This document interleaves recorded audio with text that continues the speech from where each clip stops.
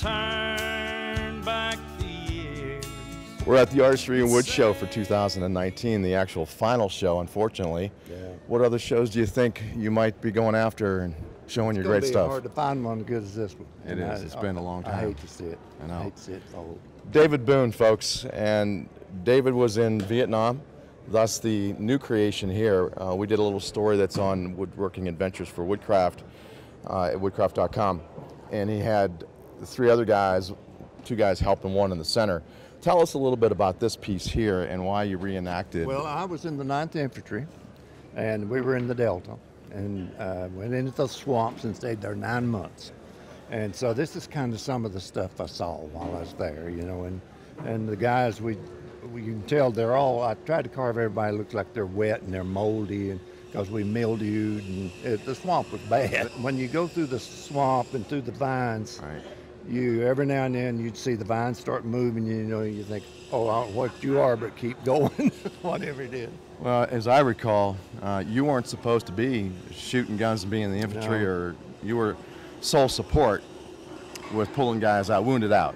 Well, I, mean, I was supposed to just do ship to shore work to start with. Right. And the Tet Offensive started. This guy here has got an M79, and I tell you, when I got to Vietnam, I'd, I'd never seen an M79. It's a grenade launcher because I didn't have infantry training. And uh, so they handed me one, and when I walked into the orderly room, the company commander, he said, uh, Boone. And I thought, well, you don't know who I am. And it was kind of strange him talking that way to me. And, and then he said, I just lost a man named Boone. And he said, this was his and now it's yours. And so I carried it the rest of the time I was in Vietnam, the M79. And I had to go outside and learn how to fire the thing because I didn't know. And I asked the sergeant, I said, I don't know how to fire this thing. And I said, Right. uh, can I shoot it? And he said, Right. yeah. What finish do you have on it? Because it feels It's oil. just like it just would. an oil base. I just take some thinner Yeah. and mix it down real thin and put coats on and scrub it down. What woods do you have involved with this? This is all basswood, Okay. and this is just pine down here, and this is walnut underneath it. So The detail's amazing. You've got the, the line of bullets here and, and just the insignias on the uniforms. Uh, just some amazing stuff. And it, I it made a really lot of replicates. canteens you can see.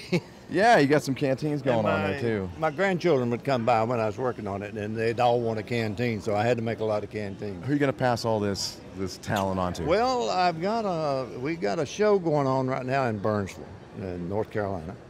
I've got about 60 carvings there at the museum, and it'll be there till October the 26th. And we're hoping to get. I've got so many of them that I've saved that one for me right. That we're hoping to keep them all together maybe somewhere, and I don't know where that's going to be. Might be just in your house. Well, that's where it is now. I'd like to get it somewhere where the public can Sure. come in and see it anytime they Maybe a want. Veterans Administration Yeah, place or something yeah. where, where the guys Yeah. can see it, or the hospital or something. You know. Yeah. Well, the Vietnam stuff really is. Uh, every time I carve a piece, I think about different faces will come to mind. Right. You know, and when I was carving this one, I the whole time it just kept running through my mind how the swamp was and how it smelled, and, and I almost quit carving on it. And but uh, it was I don't know just part of me, and so I just kept carving. So. Again, I'm with David Boone, and you might want to tell him a little bit about your past heritage because the the Boone name goes way, way, way back. I'm, Yeah. I'm talking to a historical Daniel. descendant. That's right of uh, Yeah, we, Daniel go, Boone. Daniel's an uncle, and he's, we're the eighth generation. We go directly to Daniel's oldest brother, Israel, and um, Israel is uh, buried not far from where we live. So.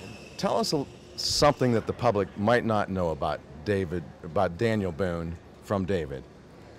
Uh, they might let's see, they might not know. Daniel did a little carving. He did. Yeah, he did. Little Whitland. He yeah, it's on a, a mantelpiece. He did some mantelpieces, and he did one for his son, and he carved a rising sun and uh, some other stuff on a mantelpiece. And, so and where are those pieces today?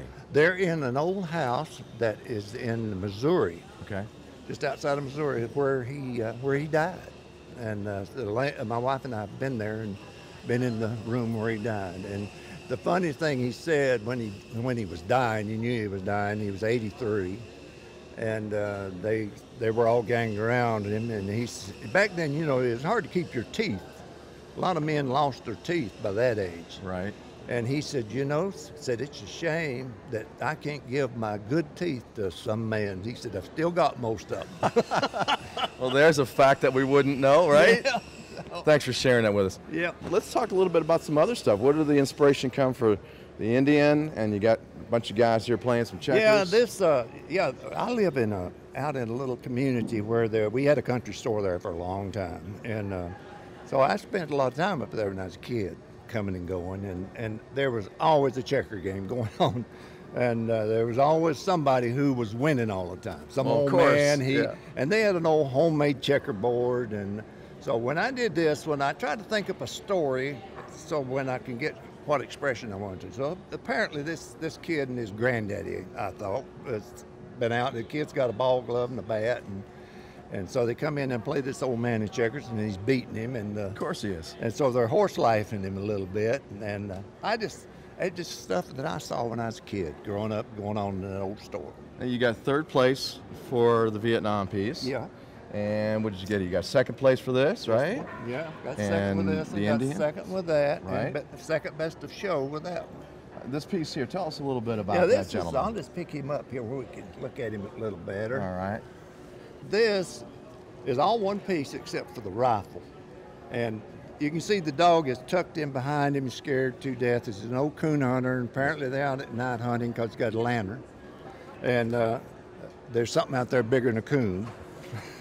And they don't know what it is. So, did you did you make this uh, with a little experience built in there? yeah, you know, at night things get spooky. there you go. Yeah. So he's uh, hoping his dog is going to come and run whatever it is off, maybe. And Yeah. It looks like uh, that's going. not happening. No, you can see. I show the camera. Hey, he's tucked in there behind him. Yep. He's not going anywhere. I don't No. think he's. They got the lead around his neck, and he's turned him loose, but he's not going anywhere. Yeah. I, I bet that thing they're scared is probably a bear. Probably a bear, and the dog right. knows what it is. That's right. He knows it's bigger than him. Yeah. David, it's a pleasure seeing you again, It's as always. Pleasure to be with you, And I appreciate you taking the time to come by. Oh, it's my pleasure, absolutely, and, and we always look forward to seeing your stuff. Keep the woodworking inspiration alive, folks. These guys have been doing it for years and years, and uh, it's just amazing Love stuff. to see some young people get interested in it. If they knew how fulfilling working with wood is the hardest medium you can work with. It's unforgiving. Well, the thing is about woodworking, it's got history, it's Yeah. got science, it's got mathematics, it's got English. You get to talk to people, you know. Yes, know? it is. You get to do things that kind of revolve around life period. It's just something about wood Yeah. as a subject. It's just, it's a clay. Uh, It's expressive, it's like inspira- that. inspirational. Yeah, it's just something about wood. Yes. and, uh, it's a lot of people in art. They should they should try wood Yeah. carving. I think they like it because that's what I was doing. I was painting when I and. Uh, Well, you do a little singing too, and a little Well, book a writing little too, picking. and a little picking, a little grinning. Yeah. Man, you you, you not got a many lot people grin when I pick. Though. No. I don't, That's all right. Hey, it's all inspiration, right? I told Right. somebody we were doing a little TV show one time, and I had a little band, and we were singing, and the guy said, uh, I said, what are you going to sing? And I said, well, we've got a lot of requests, but uh, we're going to sing anyway. we thought we was going to be the next Elvis, but we made a, made a wrong turn somewhere. I don't know where, but we made a wrong turn. All right. I told somebody later, I said, uh, Elvis and I made a deal. Uh oh.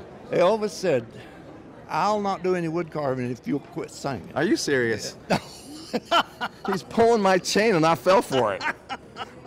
So, I'll fall for that because I'm so a big I Elvis did- fan. I- so I- oh, I am too. You know. I am too. So I quit singing, and Elvis quit wood carving. okay, there you have it, folks. Keep on being inspirational, and we'll catch you with some more stuff here at Artistry in Wood. Take care. Turn Oh, back wow.